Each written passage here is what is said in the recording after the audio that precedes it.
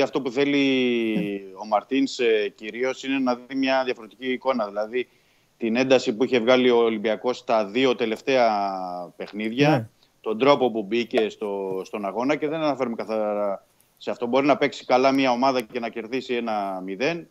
Ε, μπορεί να μην παίξει καλά και να έχει τρεις. Σωστά, και να κερδίσει και πιο πολύ. Ή, ναι. ή τρεις στατικές φάσεις ή οτιδήποτε και να πετύχει τρία γκολ. Αυτό δεν έχει να κάνει. Ναι. Αυτό που ενδιαφέρει τον Μαρτίνς είναι να δει ε, ρυθμό και να ρολάρει η ομάδα του ναι. εν ώψη του, του, αγώνα με την, εκτός άντρας με την αταλαντα Δηλαδή δεν θέλει να δει ε, ένα παιχνίδι, πώς, ε, να το πω, όπως είχε πάει ο Ολυμπιακός στη Λεωφόρο, ε, σβηστός ναι. εντελώς, χωρίς ένταση, χωρίς ναι. νεύρο, χωρίς τίποτα ε, και ναι. έληξε το παιχνίδι. Εδώ θέλει να δει διαφορετικά πράγματα ναι. και έχει πια και όλους τους παίκτες γιατί έχει επιστρέψει και ο Σισε, έχουν επιστρέψει όλοι οι Αφρικανοί έχουν μπει καινούργιοι παίκτες, αυτοί που αποκτήθηκαν ε, τον Ιανουάριο. Οπότε καταλαβαίνεις ότι υπάρχει και το υλικό και η ξεκούραση πλέον. Γιατί τώρα δεν μπορεί να είναι οι βασικοί που θα παίξουν με την ΑΕΚ να πούνε ότι εντάξει, είχαμε ναι. παιχνίδι μεσοβδόμαδα, αφού ξεκουράστηκαν μεσοβδόμαδα. Uh-huh. Πήγαν από Κυριακή σε Κυριακή. Άρα ναι. πρέπει να έχουμε και τρεξίματα, αυτό που θέλει να δει ο Μαρτίνς,